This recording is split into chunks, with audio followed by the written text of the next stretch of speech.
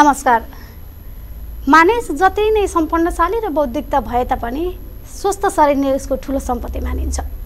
बढ्दो विकासक्रमसँगै समयको व्यस्तता र विलासी जीवनको कारणले गर्दा हामीलाई कुनै न कुनै रोगले ग्रसित बनाएकै हुन्छ।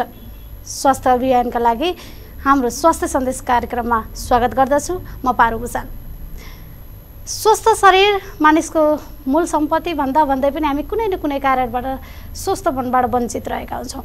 मानिस शारीरिक रूपमा मा मात्र नभई मानसिक रूपमा पनि अनेकौँ रोगले सताएको पाइन्छ।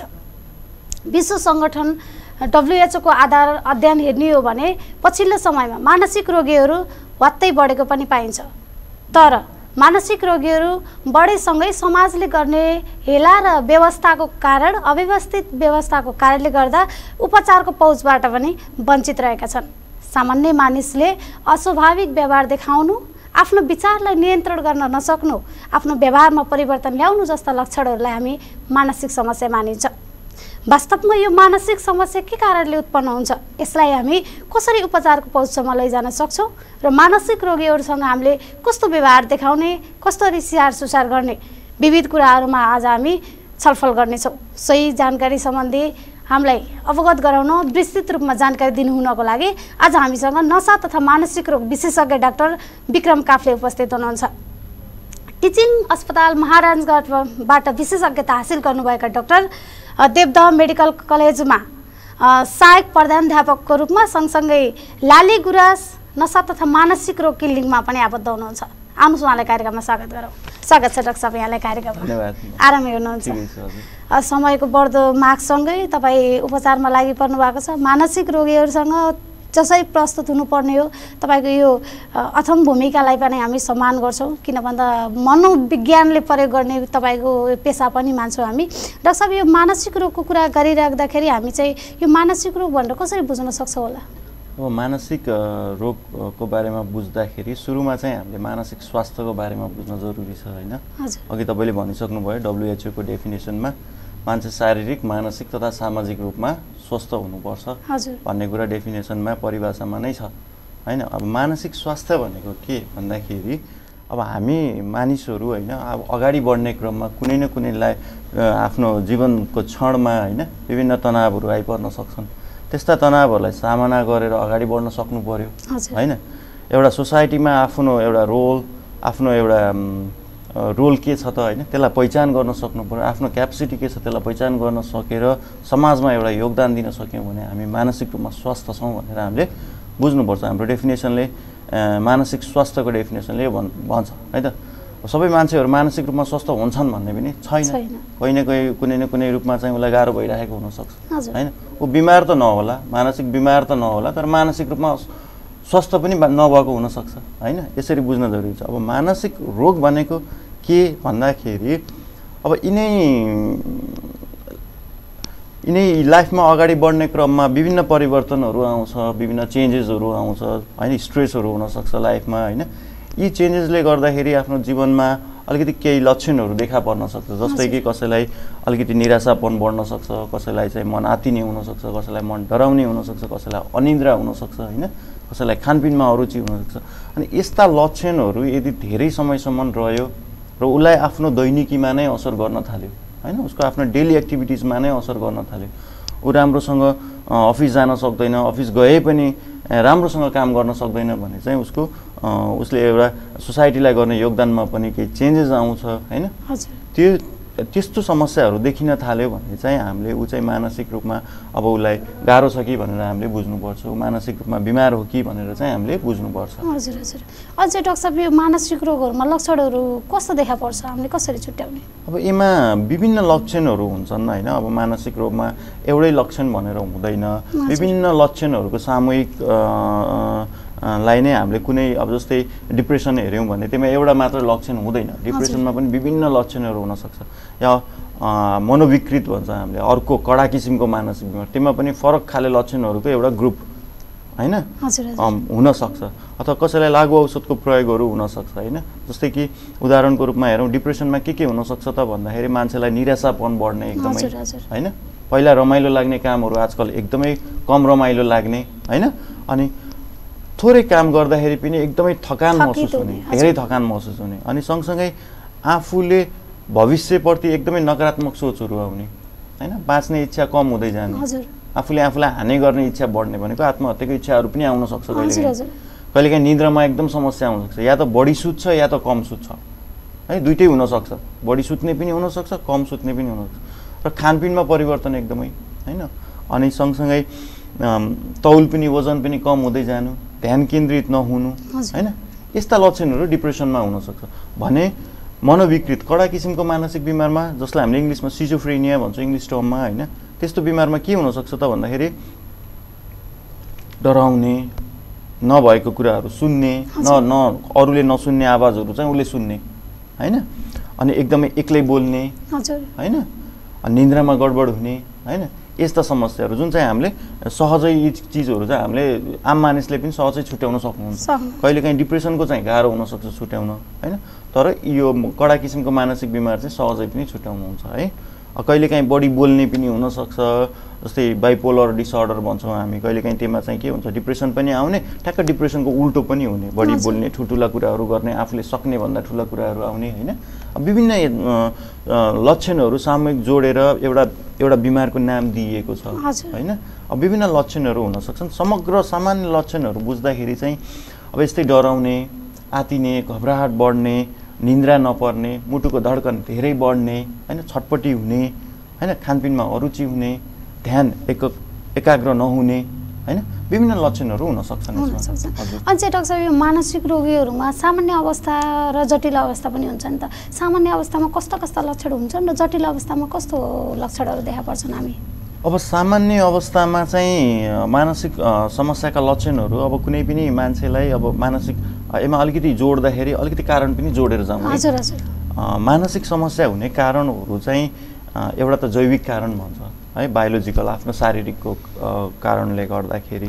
जस्तै त्यसमा के हुनसक्छ त भन्दाखेरि आफ्नो हाम्रो शरीरभित्र के न्युरोकेमिकल्सहरू हुन्छ? नसाको रसायन भन्छ त्यसलाई। त्यो रसायनको तत्त्वहरूको घडबड असन्तुलन भन्छ त्यसलाई। डिसब्यालेन्सले गर्दाखेरि पनि हामीलाई मानसिक समस्या देखिन देख्न सक्छ। हामीलाई डिप्रेसन पनि हुनसक्छ। हामीलाई या कडा किसिमको मानसिक बिमार पनि हुनसक्छ होइन? एउटा कारण त्यो। अर्को सँगसँगै वंशाणुगत हाम्रो फ्यामिलीमा आफ्नो बुवा आमालाई छ या मामा घरतिर कसैलाई छ भने पनि त्यो हाम्रो हामीमा सर्न सक्छ। हामीमा अरू अरू ग्रुपमा भन्दा हामीलाई हाम्रो बुवामा छ भने हामीलाई त्यो मानसिक बिमारले समाउने समस्या समाउने चान्सेस धेरै हुन्छ। त्यो एउटा कारण भयो होइन?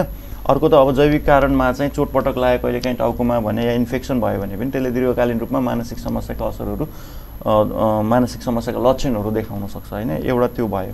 त्यसपछि अर्को सोसियल कारण। सामाजिक कारण भन्छौँ नि हामीले। सामाजिक कारणमा त अब धेरैले भनि पनि रहनुहुन्छ। होइन? जस्तै घरमा तनाव होला रे होइन? वैवाहिक जीवनमा तनाव होला होइन? अथवा उसको उसको अरू फाइनेन्सियल कारणहरूमा आर्थिक कारोबारमा समस्या होला। होइन? उसको जब अफिसमा समस्या होला विभिन्न सोसियल कजेसहरू हुन्छ नि या उसले चाहिँ धेरै लागु औषधको प्रयोग गर्न सक्छ या ड्रिङ्क्सहरू धेरै गर्ने होइन। होइन? यस्तो कुरा- कुराहरू पनि हुनसक्छ। र अर्को उसको पर्सनालिटीको कुरा आउँछ तेस्रो नम्बरमा साइकोलोजिकल कज भनेको पर्सनालिटी त्यो चाहिँ कस्तो हुन्छ भन्दाखेरि उसको स्वभाव कस्तो छ त? कोही कोही मान्छे अलिक पहिल्यैदेखि कम धेरै मान्छेसँग घुलमिल नगर्ने या कम बोल्ने या त अलि छिटो आत्तिने अलि छिटो निराश हुने स्वभावको या बच्चा अवस्थामा उसलाई कुनै ठुलो तनावबाट गुज्रिनु परेको हुन्छ नि त होइन। कतिपय घटनाहरू घटेको हुन्छ। जीवनमा होइन? त्यस्तै कुराहरूले पनि विभिन्न कारणहरू यी हुन सक्छन् होइन? मानसिक समस्या निम्त्याउने त्यही भएर यसमा चाहिँ अब अब यी कारणहरू चाहिँ बुझ्न एकदमै महत्त्वपूर्ण भयो। अब यी कारणहरू बुझिसकेपछि चाहिँ अब मानसिक समस्या चाहिँ अब सुरुवाती अवस्थामा त जहिले पनि सबैलाई सामान्य नै देखिन्छ होइन? मान्छेलाई सुरु हुँदाखेरि कसैलाई तनावबाट सुरु होला होइन? कसैको वंशानुगत अ, हिस्ट्री छ वंशानुगत हिस्ट्री छ अनि उसलाई चाहिँ कुनै तनाव आइपऱ्यो भने त्यहाँनिर ती समस्याहरू अझ बढ्न सक्छ त्यतिखेर। होइन? कुनै एउटा तनावले त्यसलाई पुसअप गरेको मात्रै हुनसक्छ अथवा तनाव नभइकन पनि आउँछ यो लक्षणहरू चाहिँ। अब हाम्रो शरीरभित्र केही केमिकल मिल्दैन अघि मैले भने नसाको रसायनहरू डिस्टर्ब भए पनि हामीलाई तनावै हुनुपर्छ भन्ने चाहिँ छैन। यो त एकदम बुझ्नुपर्ने कुरा। है? कतिपय आउनुहुन्छ म कहाँ सबै राम्रो छ डाक्टर साहब। केही अप्ठ्यारो छैन भन्नुहुन्छ तर पनि उहाँहरू निराश हुनुहुन्छ होइन? भनेपछि यहाँ धेरै कुराहरू बुझ्न जरुरी छ। त्यही भएर अब यसलाई चाहिँ कुन चाहिँ जटिल कुन चाहिँ सामान्य भन्दाखेरि चाहिँ अब डिप्रेसनलाई नै हेर्ने हो भने पनि सामान्य डिप्रेसन मध्यम अवस्थाको र जटिलवाला पनि हुन्छ होइन अब सामान्य अवस्थामा चाहिँ कस्तो हुन्छ भन्दाखेरि सामान्य उसलाई अघि मैले भनेका लक्षणहरू जुन डिप्रेसनका थिए एकदमै। निराशापन महसुस गर्ने अनि धेरै थकान हुने होइन अनिद्राको समस्या हुने। अनिन्द्रा खानपिनमा। अरुचि होइन यस्ता लक्षणहरू चाहिँ केही क्षणलाई हुने तर यसले उसको दैनिकीमा त्यति असर पारिसकेका छैन। केही न केही असर त पारेको छ तर एकदमै धेरै असर पारेको छैन। भने त्यो सामान्यदेखि मध्यम लेभलको हुनसक्छ है? तर यसैले धेरै असर पार्न थाल्यो ऊ अफिसै जान नसक्ने भयो होइन? ऊ एक्लै बस्न थाल्यो कोहीसँग बोल्न पनि खोज्दैन ऊ यति उसलाई गाह्रो भएको छ कि उसलाई जाँगर कति पनि छैन। ऊ उठेर आफ्नो बिहान उठेर मुख धुन आफ्नो सरसफाइमा पनि उसलाई जाँगर छैन। बुझ्नुभयो नि? होइन त्यस्तो अवस्थासम्म आउन थाल्यो भने त्यो जटिल डिप्रेसनतिर पनि गयो। अथवा कहिलेकाहीँ डिप्रेसन यति धेरै बढ्छ कि डिप्रेसनको लक्षण यति धेरै बढ्छ कि उसले नभएका कुराहरू पनि सुन्न थाल्छ। होइन? हामीले साइकोटिक लक्षणहरू भन्छौँ। नभएका कुराहरू सुन्न थाल्ने जस्तै डिप्रेसिभ मान्छेलाई चाहिँ एकदमै उदास महसुस गर्ने मान्छेलाई चाहिँ कस्तो आवाजहरू सुन्छ कि तिमी बाँचेर केही अर्थ छैन? भन्ने जस्तो आवाजहरू सुन्न थाल्छ। त्यस्तो सुन्न थाल्छ। थाले। आवाज हामीले सुन्दैनौँ तर ऊ त्यस्तो लक्षणहरू देखिन थाल्यो भने त्यो मान्छेले चाहिँ सुन्छ। उसको लागि। त उसले सही नै सुने हुन्छ। बुझ्नुभयो नि? है? त्यस्तो लक्षणहरू आउनु डिप्रेसनमा चाहिँ अब मध्यमदेखि जटिलताको त्यसरी पनि हामीले पहिचान गर्नुपर्छ होइन? उसलाई उसको दैनिकीमा कति एफेक्ट गरेको छ कति असर पारेको छ भन्ने कुरालाई चाहिँ हामीले एकदमै ध्यान दिनुपर्ने हुन्छ र ती कुराहरूलाई हेरेर हामीले चाहिँ तुरुन्तै हामीले चाहिँ एउटा साइकोलोजिस्ट या एउटा साइकाट्रिस्ट सर्भिस जहाँ छ या डक्टरहरू जहाँ एभाइलेबल हुनुहुन्छ त्यहाँ चाहिँ हामीले सही समयमा चाहिँ हामीले चाहिँ पुग्न जरुरी छ हामी। पुग्न जरुरी छ। अनि डाक्टर साहब यो समस्या देखिने बिरामीहरू कतिको उपचारमा आउने गरेको पाइन्छन्? एकदमै अब यो समस्या हेर्नु अहिले एकदमै हाम्रो तथ्याङ्कले के भन्छ भन्दाखेरि डब्लुएचओकै तथ्याङ्कले चाहिँ हरेक चारमध्ये एकजनालाई कुनै न कुनै क्षणमा चाहिँ मानसिक समस्याबाट गुज्रेको हुन्छ भन्छ। भनेपछि कुनै न कुनै पोइन्ट अफ टाइममा के होइन कुनै न कुनै आफ्नो लाइफको कुनै न कुनै क्षणमा चारमध्ये एकजनालाई हुन्छ भनेको। भनेपछि त्यही रेसियो हाम्रोमा मान्ने हो भने अराउन्ड ट्वेन्टी फाइभ पर्सेन्ट भनेर बुझ्नुपर्छ होइन। भनेपछि जो कोहीलाई पनि हुन सक्यो होइन तर उपचारको पहुँच हेर्ने हो भने यति एकदमै न्यून छ होइन अब अब विभिन्न कारणहरू हुनसक्छन् यसमा चाहिँ पहुँचमा अब जस्तै अहिले मैले हेर्ने हामीले हेर्ने गरेको केसहरूमा हेर्ने हो भने त अब प्रायः जसो डिप्रेसनका केसहरू नै आउनुहुन्छ या एकदमै कडा किसिमको मानसिक बिमार जुनको चाहिँ अब एकदमै उपचारै। अस्पतालमा गएर नै गर्नुपर्ने हुन्छ। होइन जुन चाहिँ जसले हेरे पनि थाहा पाउने खाले हुन्छ नि त कडा। किसिमको मानसिक बिमार मानसिक हो, त्यस्तो हजुर। हरू आउनुहुन्छ प्रायः होइन अब अचेल त अलिकति एजुकेसनल लेभल पनि हाम्रो अलिकति मान्छेहरूको एउटा अवेरनेस पनि बढ्दो छ। त्यही भएर मान्छेहरू अहिले सामान्य अवस्थामा पनि आउन थाल्नु भएको छ एउटा। सरसल्लाह गर्न आउनु पनि एउटा राम्रो पक्ष हो क्या। किनभने त्यो भनेको हामी तिमी आएर सल्लाह गर्नु भनेको केही तँ कमजोर भएको होइन। एउटा हेल्प लिन हो नि।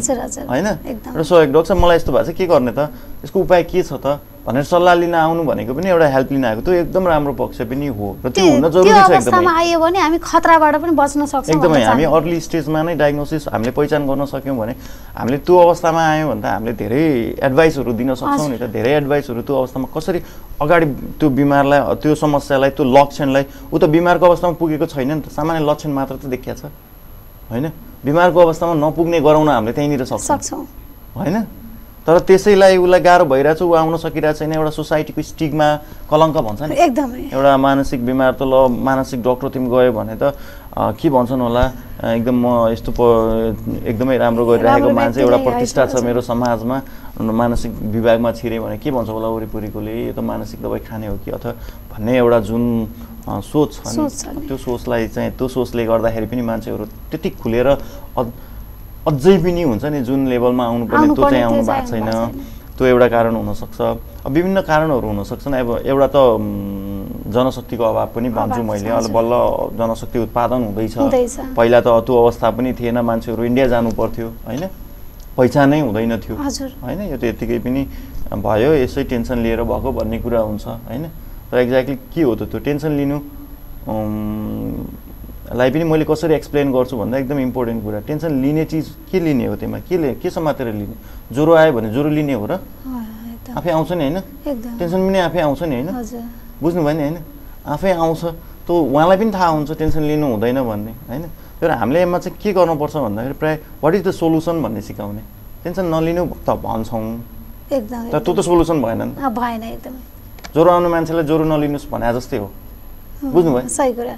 ज्वरोको लागि त हामीले एडभाइस गर्छौँ दबाई खानुहोस् अनि बल्ल गर्छ। बल्ल अब के टेक्निक छ त के गर्ने त त्यो टेन्सन कम हुन्छ। बुझ्नुभयो नि? एकदमै एकदमै। होइन? त्योतातिर हामीले ध्यान दिन जानु जरुरी छ। यो एकदम इम्पोर्टेन्ट मेसेज भनिरहेको छु मैले। यो एकदम ख्याल गर्नु होला अनि त्यो त्यो पोइन्टलाई चाहिँ एकदमै बिर्सिनु हुँदैन है। अब यसलाई चाहिँ ख्याल गरौँ। ख्याल गरौँ. अनि चाहिँ डाक्टर साहब हामीले धेरै जस्तो चाहिँ डिप्रेसन पनि सुनिरहेको हुन्छौँ नि त। खास डिप्रेसन चाहिँ के हो? डिप्रेसन पनि मैले अघि भने होइन? डिप्रेसन पनि एउटा मानसिक बिमार हो। है? पछिल्लो पन्ध्र बिस दिनदेखि यदि कसैलाई होइन? पहिलामा रुचि लाग्ने पहिला रुचि हुने कुराहरूमा आजकल अरुचि अरुचि हुँदै गइरहेछ। या एकदमै थकान महसुस हुन थालेको छ होइन? अनि अथवा एकदमै निराशा महसुस हुँदै गइरहेछ। धेरै जसो दिन। लगभग पछिल्लो पन्ध्र दिन जस्तोमा धेरै जसो समय चाहिँ आफूलाई निराशा महसुस गरिरहेछ भने चाहिँ उसलाई डिप्रेसन हुनसक्छ या कहिले काहीँ आत्महत्याको इच्छाहरू आउने एकदमै भविष्य नकारात्मक छ भन्ने सोचहरू आउने होइन? निराशाका महसुसहरू गर्ने अनि खानपिनमा अरुचि यस्तो भयो भने डिप्रेसन भयो कि भनेर हामीले जान्नुपर्छ। जान्नुपर्छ। अनि चाहिँ डाक्टर साहब यो त डिप्रेसनका लक्षणहरू पनि भयो होइन? यो कारण चाहिँ के होला डिप्रेसन हुनुमा? डिप्रेसनको कारण पनि अघि मैले भने मानसिक बिमारका कारणहरूमा जोडेको थिएँ नि मैले होइन? अब बायोलोजिकल साइकोलोजिकल सोसियल कारण। भन्छौँ बायोलोजिकल कारणमा त्यही शरीरको नसाको रसायनहरू कम। हुने एउटा कारण हो केही रसायन हुन्छ सेरोटोनिन भन्ने त्यसको मात्रा कम भइदिन्छ त्यो एउटा कारण भयो त्यसपछि बायोलोजिकल कारणमा चाहिँ सोसियल कारणमा चाहिँ अब विभिन्न तनावका कुराहरू आउन सक्छन् होइन सोसाइटीमा घरेलु हिंसाहरू हुनसक्छ होइन। त्यसपछि एक्लै बस्ने हुनसक्छ सोसल सपोर्टहरू राम्रो नहुनसक्छ होइन? विभिन्न कुराहरू हुनसक्छन् अनि लागु औषधको प्रयोगहरू पनि बढेको। हुनसक्छ। त्यस्ता कुराहरूले पनि मान्छेलाई डिप्रेसनमा लान्छ। अनि यस्ता रोगीहरूलाई चाहिँ हामी आफैले समाधान गर्ने केही उपाय छ? कसरी समाधान गर्न सक्छौँ? यसमा चाहिँ अब समाधान गर्न चाहिँ धेरै उपायहरू छ होइन? अब पहिलो कुरो त यसलाई पहिचान हुन नै जरुरी छ होइन? मान्छेहरूले। पहिचानमै पहिचान गर्ने अवस्थामा पुग्दा नै ढिलो भइसकेको हुन्छ कहिलेकाहीँ। होइन सामान्य अवस्था हुँदाखेरि नै अलिअलि आफू आफूलाई अलिकति निराशा बढ्दै गइरहेछ भने अलिकति उदासीपना आएको छ या अरू कुनै लक्षणहरू आफूलाई थाहा छ थाहा हुँदै गइरहेछ भने चाहिँ आफूलाई आफूले महसुस गरिरहेछ भने होइन भने चाहिँ यसमा चाहिँ सुरुमा हेल्प लिने त हो नि। एकचोटि डक्टरलाई भिजिट गर्ने कि। होइन जो डक्टरलाई भिजिट गरे पनि हुन्छ होइन उहाँहरूले पनि गाइड गरिदिनुहुन्छ एटलिस्ट स्वास्थ्य थिम पुग्नु पर्यो। स्वास्थ्य कर्मीथिम पुग्न सकियो भने उहाँहरूले केही न केही त गाइड गरिदिनुहुन्छ या चाहिँ कुनै साइकोलोजिस्ट थिम रिफर गर्नुहुन्छ या कुनै साइकाट्रिस्ट थिम रिफर गर्नुहुन्छ या उहाँहरूबाटै उपचार हुन्छ सुरुमा। त्यो पनि राम्रो हो। सुरुमा हेल्प पाउनु भनेको पनि एकदमै राम्रो। हो आइडिया त्यो हेल्प पाउन थालेर उहाँहरूलाई हामीले बुझाउन सकियो भने उहाँहरूलाई सजिलो पनि फिल हुन्छ होइन? सजिलो पनि फिल हुन्छ। यो त यो त उपचार गरेर पनि निको हुन्छ भन्ने एउटा महसुस पनि हुन्छ। ती कुराहरूलाई चाहिँ एकदमै ध्यान दिनुपर्ने हुन्छ।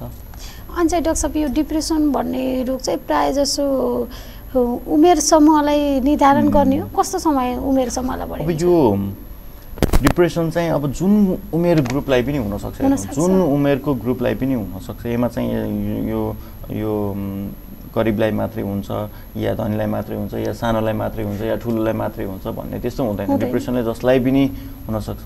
सानो ग्रुपको बच्चाहरूलाई पनि हुनसक्छ बसेकोहरूलाई पनि हुनसक्यो ठुलोलाई पनि हुनसक्यो एडल्टहरूलाई पनि हुनसक्यो वृद्ध अवस्थाका मान्छेहरूलाई पनि हुनसक्यो। हामीले हेऱ्यौँ भने डिप्रेसन सुरु हुने उमेर हेऱ्यौँ भने प्रायः जसो यही अठारदेखि बिस वर्षको उमेरमा नै डिप्रेसन सुरु हुन्छ। हजुर। है? अझ कस बच्चाहरूमा पनि त्योभन्दा सानो उमेरको बच्चाहरूमा पनि देखिन्छ। नदेखिने होइन। होइन? जस्तै बसेकोहरूमा चाहिँ डिप्रेसन चाहिँ बसेको उमेर भनेकै अब हामीले पन्ध्रदेखि माथि भन्छौँ होइन। बिसदेखि बाइससम्मकोमा चाहिँ सुरुमा चाहिँ डिप्रेसन सुरु हुने चाहिँ हामीले देख्छौँ। र यो चाहिँ डिप्रेसन भनेको फेरि दोहोरिन सक्ने बिमार पनि हो कि। एकचोटि भयो डिप्रेसन निको भयो भनेर अब निको नै भयो भन्ने भन् भन्दा पनि सन्चो कहिलेकाहीँ फेरि कुनै कारणवश दोहोरिन पनि सक्छ यो। होइन। त्यो कुराहरूलाई पनि हामीले ख्याल पुऱ्याउनु पर्यो। ख्याल पुऱ्याउनु पऱ्यो। अनि चाहिँ डाक्टर साहब यो डिप्रेसनका लक्षण अथवा आधारमा छुट्याउने हो नि त यसको स्टेप कस्तो हुन्छ? सामान्य अवस्थामा कस्तो हुन्छ? जटिल अवस्थामा कस्तो हुन्छ होइन? हामीले सामान्य अवस्थालाई कसरी उपचार गर्न सक्छौँ? उपचार चाहिँ सामान्य र जटिलको बारेमा मैले अघि अघि पनि अगाडि अलिकति भनिसकेको थिएँ होइन? अब उपचार चाहिँ यसको भनौँ न अब दुई तरिकाले हुन्छ। एउटा चाहिँ सामान्य हामीले साइको साइकोलोजिकल काउन्सिलिङ भन्छौँ हामी होइन? त्यसमा विभिन्न थेरापी टेक्निकहरू हुन्छ कग्नेटिभ बिहेभियर थे थेरापीहरू। भन्छौँ होइन। त्यो गर्न सकिन्छ। अर्को फार्माकोलोजिकल थेरापी भनेको औषधि उपचार गर्ने होइन। अब मध्यमदेखि जटिल अवस्थाको लागि चाहिँ हामीले औषधि उपचार पनि गर्छौँ। औषधि खानामा चाहिँ कुनै अप्ठ्यारो मान्नुपर्ने त्यस्तो केही पनि हुँदैन होइन। कतिपय कन्सेप्ट के छ भन्दाखेरि डिप्रेसन भयो औषधि चाहिँ खानु अप्ठ्यारो मान्ने होइन? सोसाइटीमा चाहिँ मान्छेहरूले डिप्रेसनको औषधि खाइहाल्नु हुँदैन भन्ने जस्तो कन्सेप्टहरू छ नि त। विभिन्न कुराहरू छ जुन अगाडि पनि मैले अलिकति जोडेको थिएँ त्यसलाई अहिले यहाँ पनि जोड्न चाहन्छु। किन मान्छेहरूले राम्रोसँग यो मानसिक उपचार मानसिक बिमार या को उपचारमा किन आउँदैन भन्दा एउटा प्र- प्रथम कारण त एउटा नलेजकै अवेरनेस कम भएर भन्छु मैले। होइन? मान्छेहरूलाई त्यति ज्ञान चाहिँ हुँदैन। अर्को चाहिँ पहुँच पनि कम। डक्टरहरूतिर पहुँच पनि कम छ नि त अब कोही जिल्लामा हुनुहुन्छ एकदम दुर्गम जिल्लामा हुनुहुन्छ अर्घाँची गुल्मीमा हेर्ने हो भने मानसिक रोग विशेषज्ञ पनि कोही पनि हुनु हुँदैन नि त। अब पहुँच पनि कम भयो नि त बुढो आइपर्नु आइपुग्नु पर्ने अवस्था छ। पहुँचको कम। अर्को हाम्रो बिलिफ विश्वास। होइन? यस्तो समस्यामा चाहिँ हामी हाम्रो कल्चरल बिलिफमा हामी के गर्छौँ त? हामी झाँक्रीछिम जान्छौँ नि त? हामी सुरुमा त होइन हामीले। त्यो अवस्थामा नै हामीले धेरै समय गुमाइसकेका हुन्छौँ कि। हाम्रो एउटा बिलिफले गर्दा हामीले अनि अर्को के हुन्छ भन्दाखेरि मानसिक बिमारमा चाहिँ जब त्यो उपचार गरे पनि निको हुँदैन भन्ने एउटा कन्सेप्ट पनि।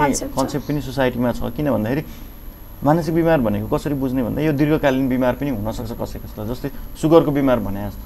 सुगरको बिमार पनि त एकचोटि औषध सुरु गरेपछि कति समय कति मान्छेहरूलाई त लामो समय खानुपर्ने हुन्छ। त्यसरी बुझौँ न दीर्घकालीन बिमार भन्ने जस्तो पनि बुझाइ बुझाइ त सही हो दीर्घकालीन बिमार त दीर्घकालीन बिमारै हो। तर सन्चो कुनै बेला बल्झ्यो भने यो बिमार त सन्चो हुँदैन भने जस्तो कि बुझ्नुभयो नि त्यस्तो कन्सेप्ट रहेछ। अनि चाहिँ डाक्टर साहब मैले अलिकति जोड्नु छ यो मानसिक रोगी र डिप्रेसन रोगीहरूको औषधि सुरु गरिहाल्यो भने पनि लामो समय आफू पाचुन्जेलसम्म सेवन गर्नुपर्छ भन्ने डरले पनि मानिस उपचारमा गइरहेको। हुँदैन त्यो- यो त्यो एकदमै हजुरले भनेको कुरा मान्छेहरूको कन्सेप्ट मान्छेहरूलाई चाहिँ त्यो भ्रम चाहिँ छ होइन। तर कस्तो छ भन्दाखेरि डिप्रेसन भइसकेपछि औषधि कति खाने त भन्दाखेरि आफूलाई राम्रो भएको नौ महिनादेखि एक वर्ष जति औषधि चाहिन सक्छ होइन? यदि सही तरिकाले डक्टरको सल्लाह बमोजिम उसले सही औषधिमा सही तरिकाले सेवन गरिरहेछ भने त्यो अवस्थाभन्दा धेरै नचाहिन पनि सक्छ हेरिकन। तर कसै कसैलाई बारम्बार दोहोरिरहेछ भने अलि लामो समय पनि जान सक्छ। हेरिकन हुन्छ यसमा पनि कुन बिमार? अब मानसिक बिमार भनेर विभिन्न प्रकारका बिमारहरू छ। अब कडा किसिमको बिमार छ दुई तिनचोटि दोहोरिसकेको छ भने कहिलेकाहीँ लाइफ लङ पनि जीवनभर पनि जान सक्छ। है यो कन्सेप्ट चाहिँ एकदमै तोड्न जरुरी छ होइन? कहिलेकाहीँ क्षणिक समस्याले गर्दाखेरि छोटो समयको मानसिक समस्या देखिएको हुनसक्छ त्यसको लागि धेरै औषधि चाहिँदैन। केही क्षणको लागि मात्रै पनि चाहिँ दिए पनि पुग्ने हुन्छ। भनेपछि विभिन्न भ्रमहरू छन् समाजमा। यी भ्रमहरूलाई चाहिँ तोड्न जरुरी छ है? डाक्टर साहब कस्तो पनि पाइयो भने डिप्रेसनको औषधि खाइरहेछ तर पारिवारिक समस्याले र पारिवारिकले चाहिँ अलिकति दबाएको कारणले गर्दा बिचमै औषधि छोडेको पनि पाइयो। यसमा के खतरा छ? एकदमै। एकदमै यो धेरै छ। हजुर। धेरै छ एकदमै धेरै छ। औषधि सुरु गर्ने एकदम राम्रो भयो। अब किन हजुर। खानु पऱ्यो यस्तो भन्ने एउटा एउटा परि परिवारको दबाब पनि हुन्छ। एउटा आफैलाई पनि त्यो फिल आउँछ। आफैलाई पनि अब भयो म ठिक भयो। अब किन खाने औषधि खानु हुँदैन। कतिले सुनाइराखेका हुन्छन् होइन? यो औषधि नखाए पनि यतिकै पनि भइहाल्छ नि अब। भन्ने पनि एउटा कारणले गर्दाखेरि अथवा यो औषधि खाँदाखेरि कसैले देखे भने होइन? अथवा आफूले होइन कति कुनै समयमा खानुपर्ने हुन्छ कहिले बाहिर भइहाल्ला कहिले कता भइहाल्ला होइन? त्यो अवस्थामा पनि त्यही एउटा स्टिग्माको कारणले गर्दाखेरि होइन? अथवा यो औषधि खाइरहेछ भने भोलि बिहान अरूले के भन्ने हो अब आफ्नो छोराछोरी छन् भने पनि उनीहरूलाई पछि गएर समस्या पर्छ कि भन्ने एउटा कन्सेप्ट एउटा धारणा जुन एउटा सोसाइटीमा छ त्यो त्यो कारणले गर्दाखेरि पनि सकेसम्म औषधिहरू छुट्याइदिने या चाहिँ कतिपय कति अरू मानिसहरूबाट सुनिने होइन डिप्रेसनको औषधि खानु हुँदैन यसले त भन्ने या त यसले नराम्रो असर गर्छ दिमागलाई अथवा झन् मोटाइन्छ भन्ने यस्तो कुराहरू पनि हुन सक्छन् होइन। ती कुराहरूले गर्दाखेरि पनि धेरै कारणहरू छन् यसमा कारण छ। अनि चाहिँ डाक्टर साहब समय छोटो छ हामी सर्टकटमा बुझौँ। यो पछिल्लो समयमा आत्महत्याको कारणहरू पनि आत्महत्या पनि बढ्दो छ यो कारण के हो यसलाई कसरी समाधान गर्न सक्छौँ? आत्महत्या के बुझ्नुपर्छ भन्दा एउटा मानसिक समस्या हो भनेर। बुझ्नुपर्छ एकदमै पहिलो कुरा चाहिँ होइन अब यो चाहिँ विभिन्न कारणले गर्दा हुनसक्छ तर यसमा सबभन्दा धेरै कारण भनेको डिप्रेसन हो। डिप्रेसनै हो डिप्रेसनमा नब्बे प्रतिशत आत्महत्या हुने नब्बे प्रतिशत कारण हामीले डिप्रेसनै भन्छौँ अब। कतिपय अरू कारणहरू पनि हुनसक्छ होइन अब कारणहरूमा चाहिँ मेन प्रमुख कारण डिप्रेसन। कहिलेकाहीँ लागु औषधको प्रयोगमा पनि सुसाइडहरू भइरहेको हुन्छ। कहिलेकाहीँ सामान्य राइसितनामा पनि क्षणिक इम्पल्सिभमा पनि सुसाइडल एक्टिभिटिजहरू आत्महत्याको कुराहरू देखिरहेको हुन्छ होइन। विभिन्न कारणहरू हुन सक्छन्। अब अहिले पछिल्लो समयमा त हाम हामी एउटा यस्तो अवस्थाबाट गइरहेछौँ कोरोना होइन कोभिड जसले गर्दाखेरि एउटा इकोनोमिकल क्राइसिस एउटा मान्छेहरूलाई एकदमै आर्थिक गाह्रोपन मन्दीपन अनि आफ्नो जबै छोड्नुपर्ने अवस्था होइन? विभिन्न अब स्वास्थ्य कर्मीहरूलाई हेर्ने हो भने डाइरेक्ट फर्स्ट फ्रन्ट लाइनमा काम गर्नुपर्ने नै छ। होइन? आफै पीडित हुने अवस्था छ। विभिन्न कारणहरू हुन सक्छन् होइन? त्यसले गर्दाखेरि पनि मान्छेलाई एउटा डिप्रेसनमा जाने र त्यसले गर्दाखेरि एउटा एउटा मान्छेलाई चाहिँ सुसाइडल थट्सहरू सुसाइडल थट्सहरू आउने होइन? सुसाइडल थट आत्महत्याको इच्छा आउने भनेको एउटा समस्या हो भनेर बुझ्नुपर्छ जस्तो ज्वरो ज्वरो आएको छ भने कुनै न कुनै कारणले आउँछ नि। या मलेरिया हुन्छ या कोरोना। हुन्छ या डेङ्गु हुन्छ नि। सुसाइडल थट्सहरू आउने भने पनि त्यहाँ कुनै न कुनै कुनै न कुनै मानसिक चाहिँ समस्या छ। कुनै न हजुर, कुनै हजुर। मानसिक समस्या छ या मनोसामाजिक समस्या छ भनेर बुझ्नु पर्यो। त्यो एउटा लक्षण हो है आत्महत्याको कसैले आत्महत्याको इच्छा व्यक्त गरेछ भने त्यसै या तिमी यस्तो मान्छे भएर पनि यस्तो राम्रो गरेको मान्छे भएर पनि यस्तो विचार ल्याउने हो भनेर छट्ट त्यसरी नेग्लेक्ट गरिदिइहाल्नु हुँदैन। त्यसलाई चाहिँ हामीले सुन्नुपर्छ उसको कुरालाई। सुनिदिनुपर्छ मे उसको कुरा सुनिदियो भने उसले सुनिदियो भने मेरो कुरा सुन्ने कोही त हुनुहुन्छ भनेर उसलाई अलिकति ढुक्क पर्नुहुन्छ कुरा खोल्न सजिलो हुन्छ। हामीले सुरुमै काटिदिन्छौँ कि? यस्तो कुरा त गर्नु हुँदैन। तिमी यस्तो बोलियो मान्छेले भन्छौँ नि त। त्यो रङ स्टेप हो एकदमै। हवस् त। आज लामो समयको लागि तपाईँले व्यस्त समय पनि हाम्रो लागि दिनुभयो। हजुरको लागि धेरै धेरै धन्यवाद। हामीले यो कुरा छुट्यायौँ। आज हामीले मानसिक समस्या सम्बन्धी कुरा गऱ्यौँ मानसिक समस्या एउटा रोग नभई एउटा कारणवश उत्पन्न हुने समस्या पनि मान्न सक्छौँ हामी। यसलाई हामी लुकाएर दबाएर राख्नुभन्दा यसलाई उपचारको पहुँचसम्म पुर्यायो भने समय अगावै नै यसलाई समाधान गर्न सक्छौँ। पछिबाट हुने खतरा र जोखिमबाट बचौँ। समयमै स्वास्थ्य जाँच गरे आफूलाई स्वस्थ राखौँ। यस्तै स्वास्थ्य सम्बन्धी जानकारी हेर्दै गर्नुहोला। आजको श्रृङ्खलाबाट बिदा लिन्छु। धन्यवाद। नमस्कार।